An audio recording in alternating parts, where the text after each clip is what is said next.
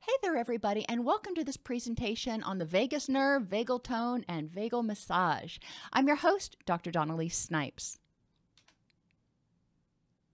The vagus nerve is one of the most connected nerves in our body and has been proposed to mediate diverse physiological responses, including indirectly regulating body temperature, regulating heart rate and functioning, decreasing blood pressure, helping send the signal to your body that you're full or increasing satiation.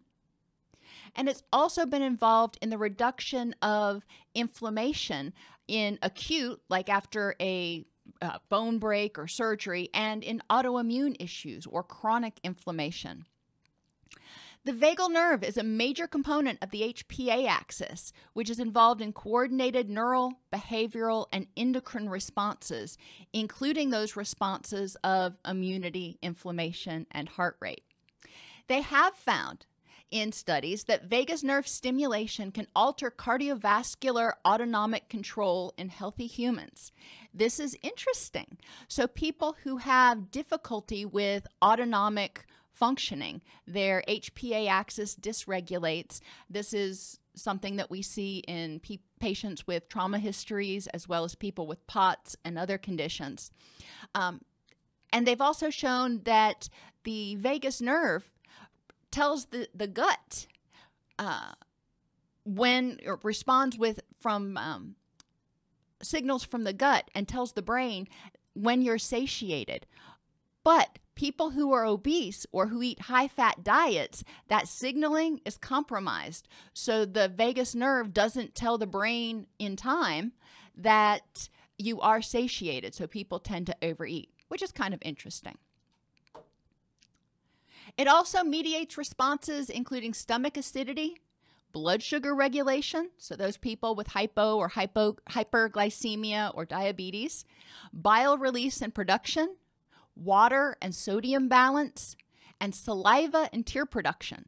So it's got its little, you know, nerve endings in just about everything, which is why understanding uh, vagal massage and vagal stimulation can be helpful for people with anxiety disorders, with autonomic disorders where they have tachycardia or their blood pressure suddenly drops. There are a lot of different um, ways that vagal massage and vagal nerve stimulation may be helpful.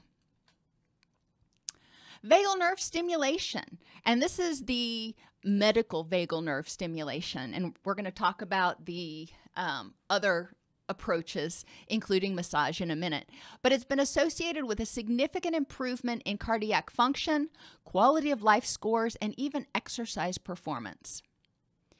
Vagal nerve stimulation was approved by the FDA for the treatment of drug resistant epilepsy and depression in 1997 and 2005, respectively, and more recently was approved to treat migraine.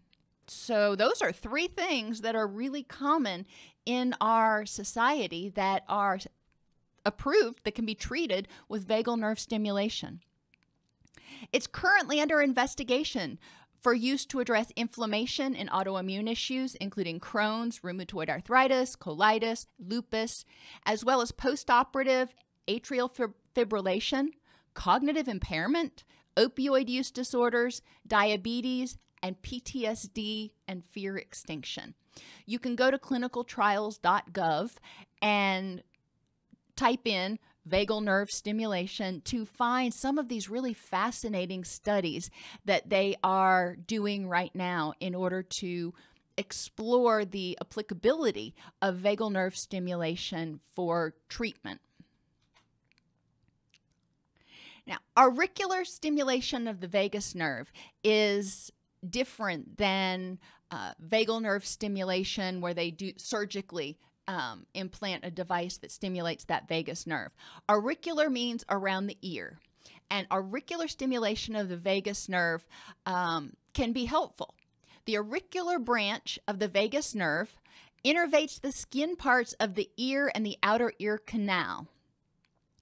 Regarded as the main parasympathetic parasympathetic output of the autonomic autonomic nervous system. Sorry, y'all. The vagus nerve has an extensive distribution throughout the abdomen, heart, lungs, liver, adrenal, medulla, and the gastrointestinal tract. I told you this little bugger was kind of involved in everything. Auricular stimulation of the ear, um, or the auricular branch of the vagus nerve, can be electrically, electrically, like th- with a TENS unit, or manually massage stimulated through the skin, which may provide a therapeutic alternative with widespread clinical use, including heart rate variability, reducing inflammation, and addressing depression. So, the auricular branch of the vagus nerve um, is located in the tragus and the concha. Now, think conch shell, those shells you hold up to your ear that have that hollow inner core. You know, that's the concha is the inner part of your ear right here and you can see it on the diagram better than you can see it on me. And the tragus is that little flap of skin right in the front of the ear. Um, and that's where you have a lot of nerve endings for the uh, vagus nerve. And then the main branch of the vagus nerve goes down right behind your jawbone and kind of right along this, this muscle in your neck down kind of to your throat because it's also involved in you know your voice box and everything but um, so when you're massaging you can put a finger um, i usually use my middle finger on the tragus and my index finger behind my ear and gently you don't need to press this is not acupressure um, you just gently massage around in circles and then you can work your way down just bringing both fingers together as you move down your throat. Again, not pressing hard, just gently massaging all the way down to your neck. And then you can repeat that. But a lot of people find that they find relief with just that. Other people find more relief by massaging the concha. Um, whatever works for you, you need to try out a few different things to see if it helps most people who try doing it report that they can notice a um, sensation when they do it. Other ways that you can improve your vagal tone, which is your vagus nerve's ability to effectively respond and not over respond or under respond to uh, sensory input, include yoga, meditation, and biofeedback. With yoga, you are getting yourself into a position and you are holding it. It is not easy. You know, you are using a lot of muscles and it can get um, a little uncomfortable sometimes as you are getting into those positions. But through slow breathing, you are training your uh, vagus nerve to not over respond. You're training your vagus nerve to maintain that calm, relaxed state. Um, meditation is the same way with deep breathing um, and focused meditation.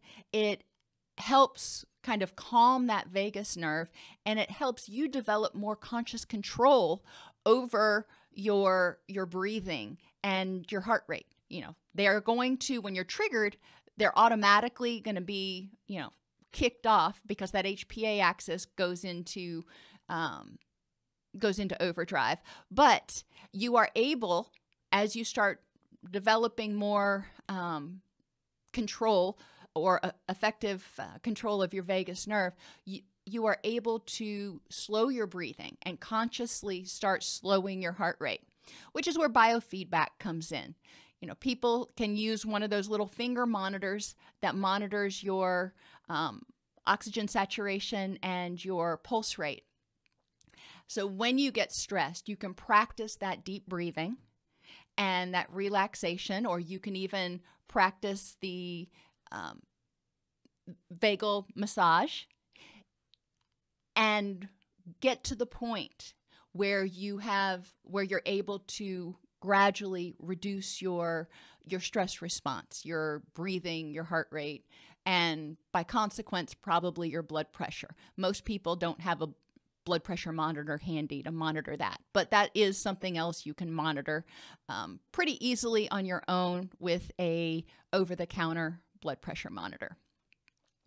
I hope this was helpful because a lot of people are talking about the vagus nerve and vagal tone, um, and this can be one strategy that is helpful for developing a healthier vagal nerve.